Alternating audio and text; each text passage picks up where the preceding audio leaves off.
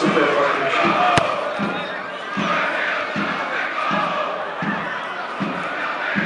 A do hry zasáhne Matuš